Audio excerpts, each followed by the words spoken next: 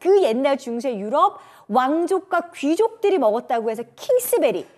왕족과 귀족이 불로장생을 꿈꾸면서 건강을 꿈꾸면서 먹었다고 하면, 네. 이건 말 다 한 거죠. 그리고 지금 빨간 글씨 보이시죠? 중국에서는 늙지 않는 열매입니다. 바로 불로매입니다. 안입을 늙을로 딸기나무매. 네. 이런 이야기를 하고 있어요. 이 얘기는요, 이미 오래전부터 그들은 알았다는 거죠. 음. 그쵸. 신비의 열매로, 예. 기적의 열매로, 젊음의 파트너로 손꼽힌 게 아로니아가 되겠습니다. 아니 세상에 열매인데 세상에 먹거리가. 얼마나 넘쳐나고 열매가 얼마나 많아요. 근데 유독 아로니아라는 열매에 늙지 않는다라는 별명을 붙여줬어요. 불로매. 네, 그 늙지 않은 열매를 내가 먹는다. 또 네. 보라색 기적의 물질 안토시아닌을 물에 타드시거나 요거트에 넣어 드시거나 아니면 그냥 분말화 되어 있으니까 입에 탁 털어 드시고 물 한 잔 드시게 되면 내 몸 안에 이렇게 싹 퍼지는 거예요. 아. 근데 어떤 물질이 항산화 물질이 네. 우리 몸이 산화되는 걸 늦출 수 있는 그런 물질이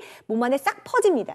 물 많이 먹으래요. 하루에 2리터 이상의 물을 먹으라고 하는데 맹물은 버거우신 분들 그냥 이렇게 연하게 타서 음, 꿀꺽꿀꺽 물처럼 드셔주시면 내 몸에 쫙 퍼진다고 생각해 보세요.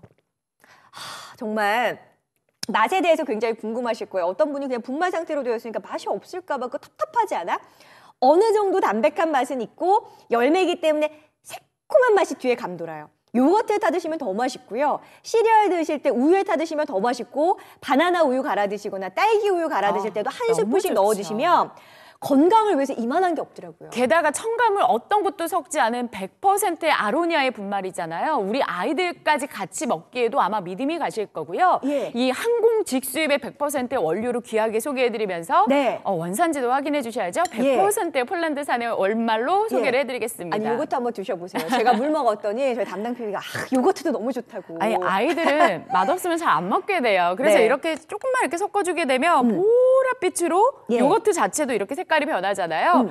보시게 되면은 그냥 정말 그냥 뿌려주셔서 드시기만 예. 하면 되는 거예요. 그러니까 요거트가 요즘에 홈메이드 요거트라고 해서 집에서 굉장히 많이들 만드시죠. 음. 네. 근데 거기에 잼 넣어 드시거나 혹은 아, 꿀 넣어. 드시는데 아로니아 딱 한 스푼만 넣어서 싹 저어서 24박스를 이 가격에 구입하실 수 있을까요? 쉽지 않습니다. 1번부터 시작해서 12박스가 15만 9천 원. 한 세트의 가격이 15만 9천 원. 그럴만도 해요. 유기농 아로니아니까. 자, 그런데 13번부터 시작해서 쭉쭉쭉쭉 더 드릴게요. 네, 그런데 중요한 건 방송 주게만 완벽하게 더블의 찬스고요. 총 24박스를 받아보시는 겁니다. 중량도 720g까지 15만 9천 원 홈앤쇼핑가 12박스의 금액도 확인하시기 바라겠습니다.